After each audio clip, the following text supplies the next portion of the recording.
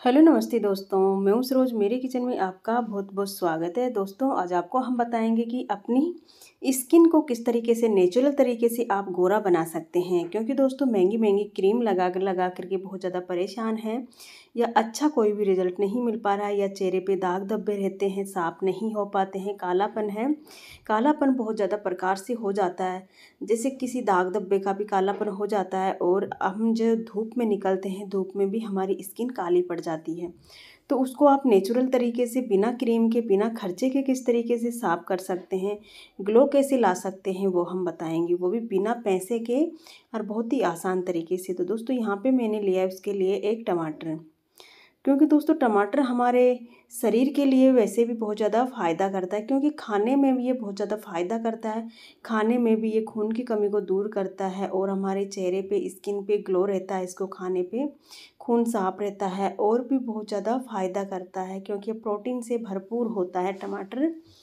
तो यहाँ पे मैंने इसको दो भागों में डिवाइड कर लिया है तो खाने के पहले भी ये फ़ायदा करेगा, खाने के बाद में भी फ़ायदा करेगा। क्योंकि स्किन पे लगाने में भी बहुत ज़्यादा फ़ायदा करता है स्किन के ऊपर और खाने से तो बहुत ज़्यादा इसके फ़ायदे, बेनिफिट मिलते हैं आपको।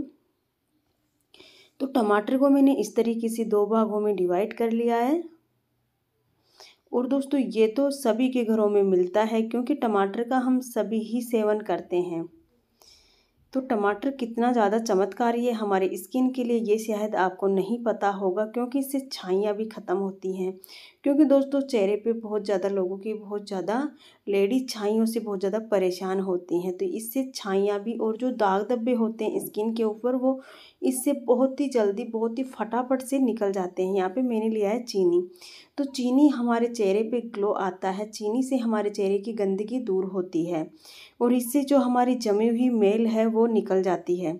तो चीनी को इस तरीके से डालना है और यहाँ पे मैंने फिर से कटोरी ली है। तो यहाँ पे देख सकते हैं जो मैंने टमाटर लिया था। टमाटर का हमें क्या निकालना है? स्किन जो ऊपर का भाग होता है वो हमें नहीं लेना रहता है टमाटर का। जो अंदर का रहता है, जो अंदर का जो रस रहता है, अंदर का गूदा होता है टमाटर का, वही हमें इस्तेमाल करना है। क्योंकि सबसे मेन फ़ायदा वही चीज़ करता है टमाटर का। और जब भी आप टमाटर ले तो देसी वाला टमाटर लीजिए, क्योंकि दोस्तों देसी वाला टमाटर में खट्टापन ज़्यादा होता है और वो ज़्यादा फ़ायदा करेगा स्किन के लिए। यहाँ पे मैंने लिया है गेहूँ का आटा। गेहूँ के आटे से दोस्तों आपकी जो स्किन है, लूज स्किन है, जैसे उम्र हो चुकी है और आपकी जो स्किन है थोड़ी सी लूज हो चुकी है तो इससे आपकी स्किन टाइट होती है और बहुत ज़्यादा फ़ायदा भी मिलता है इससे। और जो आपकी जमी हुई मेल है ना, आटे से वो निकल जाती है।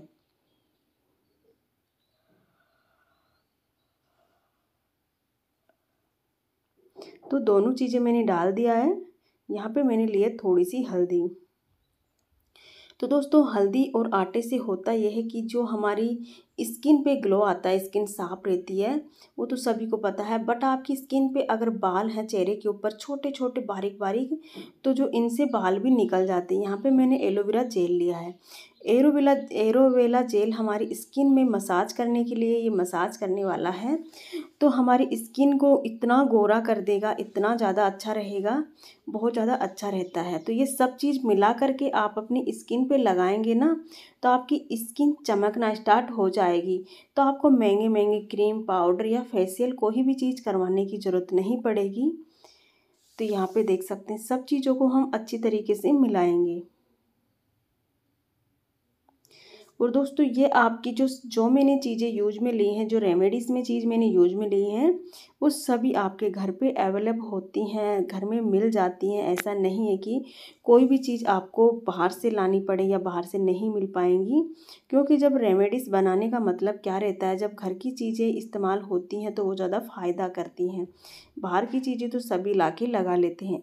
अगर दोस्तों, आपको जैसे लग रहा है कि एलोवेरा जेल आपके पास नहीं है तो आपके पास में एलोवेरा का पौधा होगा। क्योंकि दोस्तों, पौधा, पौधे में जो एलोवेरा होता है, वो आप लेंगे तो वो और भी ज़्यादा फ़ायदा करेगा, क्योंकि वो ताज़ा रहेगा नेचुरल रहेगा।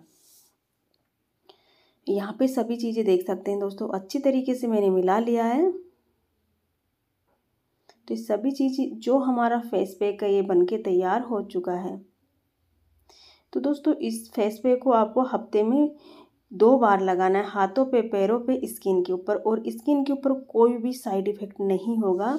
तो पहले तो जो मैंने चीनी डाली थी टमाटर में, वो वाला पेस्ट लगाएँगे इस तरीके से। तो दोस्तों, इसका रिज़ल्ट आपको एक से एक बार में ही देखने को मिल जाता है। ये नहीं है कि आपको एक दो बार लगाएँ, उसके बाद में इसका रिज़ल्ट आए, ऐसा नहीं है। आपको इसका रिज़ल्ट एक बार देख, एक बार लगाएँगे तभी आपको फ़र्क नज़र आ जाएगा कि आपकी जो बरसों से जमी हुई मेल है, स्किन की, वो कैसे निकल जाती है आराम से। तो यहाँ पे देख सकते हैं, इस तरीके से हम इसको निकालेंगे, इस तरीके से।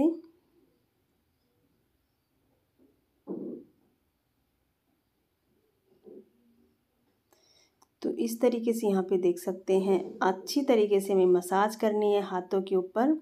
तो हम मैंने अच्छे से मसाज कर लिया है। यहाँ पे मैंने हाथों को धो भी लिया है। तो यहाँ पे देख सकते हैं जो गंदगी होती है हाथ पैरों की, जो मेल होता है हाथ पैरों का, वो निकल जाता है इससे। तो यहाँ पे जो मेरा ये पेस्ट है, वो आप बाद में लगाएँगे। क्योंकि पहले मैं वो वाला जो चीनी वाला पेस्ट था, वो वाला पेस्ट लगाई हूँ। इससे जो आपकी स्किन है और भी ज़्यादा सॉफ्ट हो जाएगी और जो आपका गोरापन है और भी अच्छा निकल के आएगा। तो दोस्तों, ये ज़रूर अपनाएँ, अपने घर में ही बना करके ये रेमेडीज़ और दोस्तों, वीडियो अच्छी लगे तो लाइक करें कमेंट्स करके ज़रूर बताएँ। तो दोस्तों, आज के लिए इतना ही। Thank you